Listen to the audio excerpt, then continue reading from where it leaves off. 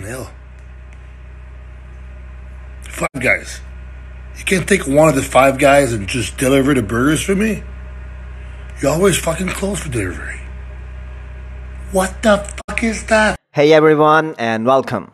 So your 2019 Mr. Olympia, Brandon Curry definitely thinks that his legs were the main reason for his loss against Big Ramy at the Olympia 2020. The plan is set for the Olympia 2021 as Brandon is utilizing all the advanced methods to bring up his legs, especially his hamstrings.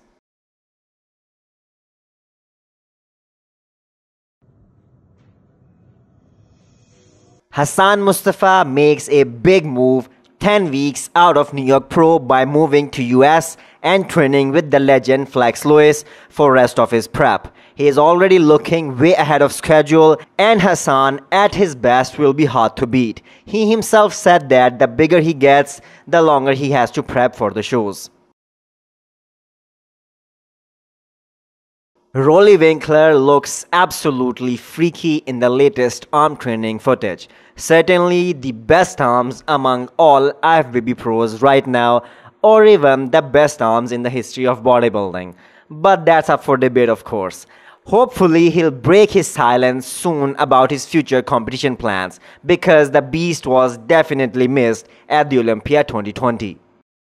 Personally, I don't think Kai Greene is up to something as far as getting back to the bodybuilding stage is concerned. But lately, he has been putting out his current physique updates frequently.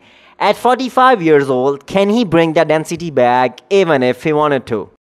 Psycho Fitness believes that Ronald Gordon is the next rising star in open bodybuilding. Guys like Ron and Mark Hector possess a real classic physique with no stomach problems, right? Hopefully, both these young talents grow while maintaining this small waist.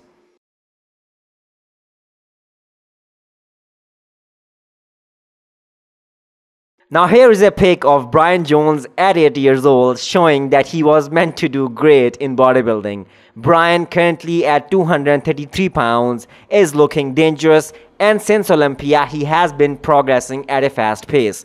Goal is to win Classic Physique Olympia title before switching to open class. He wants to bring up his back and his legs for the Olympia 2021. Blessing does get a lot of criticism about his legs, but his upper body, especially his back, is off the charts considering his age. Here is an interesting comparison of him and the GOAT Ronnie Coleman. Considering Blessing stays healthy, he will definitely be looking unbelievable in a few years.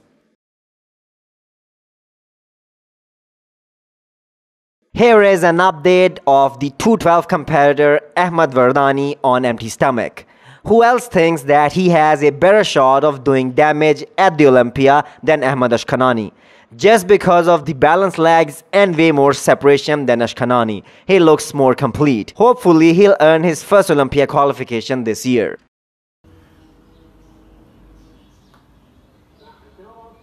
And here is Nick Walker confident as always in his abilities that one day he will be the best ever.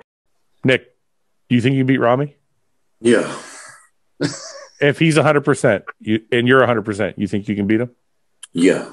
Beating Big Ramy at his best, well, that's definitely a huge claim. So let's give him a couple of more years to acquire that muscle maturity so that he can back up his claim. An interesting comparison of real double bicep between him and Ramy shows how good Nick is gonna be in the future.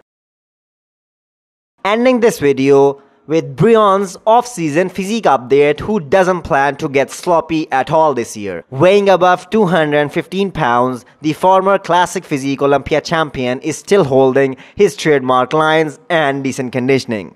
If you like the video, please do subscribe the channel. Thank you.